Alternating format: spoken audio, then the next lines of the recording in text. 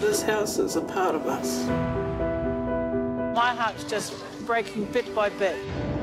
30 years. And that's how long I've been in this house.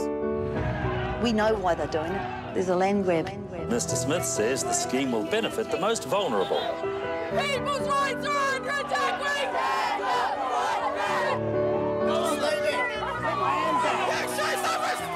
See life as it happens. Whare Tapa Wha, Monday 9.30.